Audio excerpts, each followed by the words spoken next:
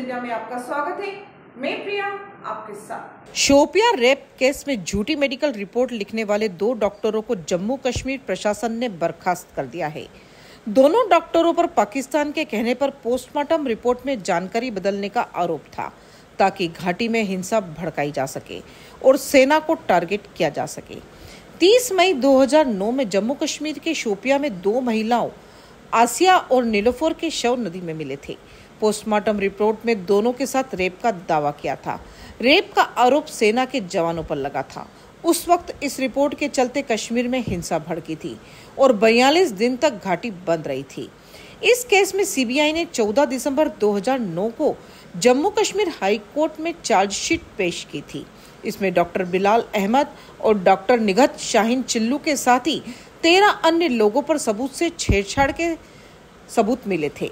सेना के जवानों पर लगाए गए आरोप झूठे निकले थे।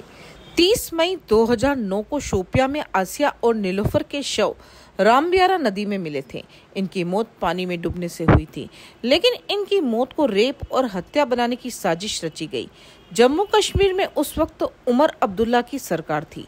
जवानों पर रेप और हत्या के आरोप लगने के बाद महीने भर तक प्रदर्शन चला।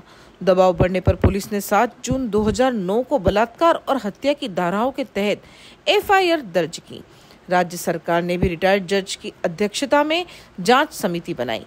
इस आयोग की रिपोर्ट में पुलिस पर सबूत मिटाने का आरोप था, जिसके आधार पर सरकार ने शोपिया के तत्कालीन एसपी और डिप्टी समेत चार पुलिस अधिकारियों को सस्पेंड कर दिया, लेकिन घाटी में प्रदर्शन जारी रहा, जिसके कारण केस सीबीआई को सौंपा गया।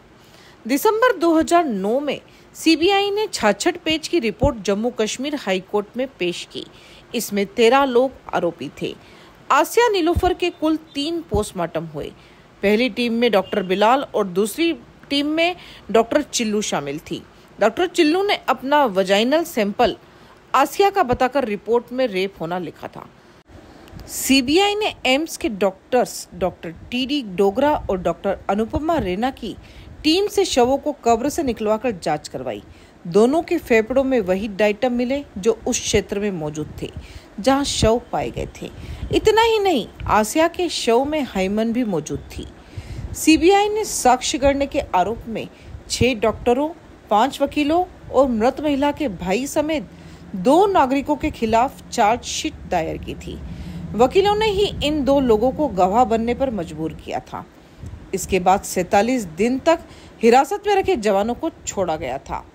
जम्मू कश्मीर प्रशासन के एक अधिकारी ने बताया कि डॉक्टरों का मकसद आर्मी के जवानों पर रेप और हत्या का झूठा आरोप लगाकर लोगों को उनके खिलाफ भड़काना था। जाँच में ये भी सामने आया है कि तत्कालीन उमर अब्दुल्ला सरकार के एक सीनियर ऑफिसर को इन चीज़ों के बारे में जानकारी थी, लेकिन सच्चाई दबा दी गई थी। इसी के साथ बने रहिए एशियन के साथ। धन्यवाद।